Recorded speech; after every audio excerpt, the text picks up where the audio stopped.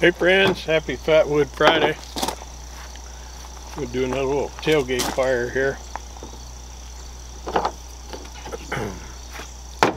Using my Jeff White. Let me turn you down here, you can see what I'm doing.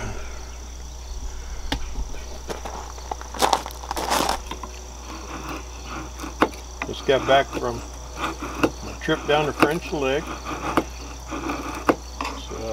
that video stuff should be out Monday. Caught a few fish. Nothing crazy. Oh, that stuff smells good.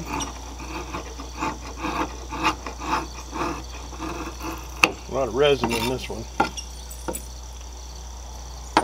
Got another one here.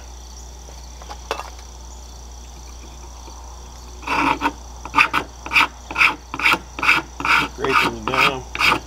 Yeah, we had good weather. Everything went good. I had to had to board Maggie. She did good.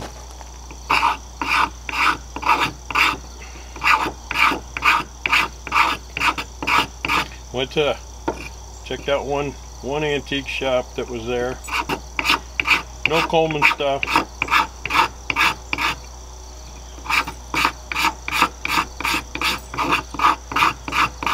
So now I'm going to do this Fatwood video and then I'm going to uh, we're going to get my stuff around for the gathering coming up next weekend.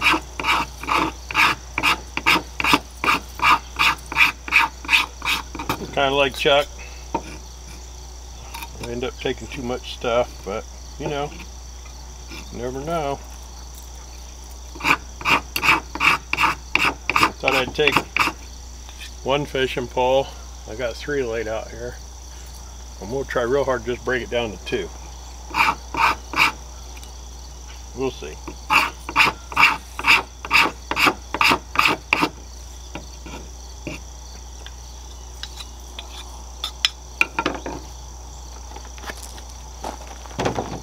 We'll see how that turns out.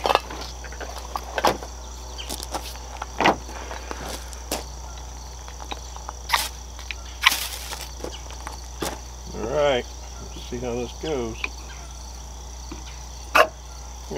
oh, oh, oh! One and done. That was close. That was close. That fatwood's got a lot of resin in it. So yeah, that's what I'm working on. Uh, I'm gonna clean out the rest of the stuff out of the truck from our trip start packing stuff in it. I'm going to leave here early Friday morning.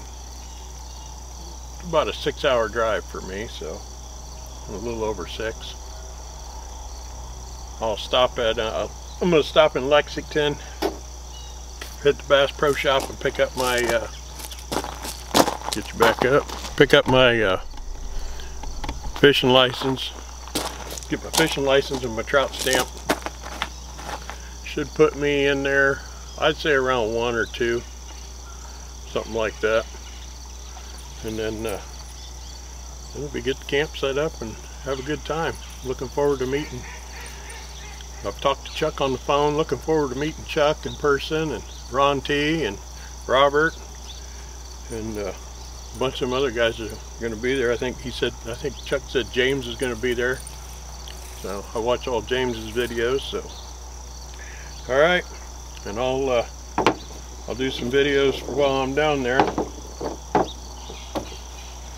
Thanks for watching everybody. We'll see you Monday. Bye have a great weekend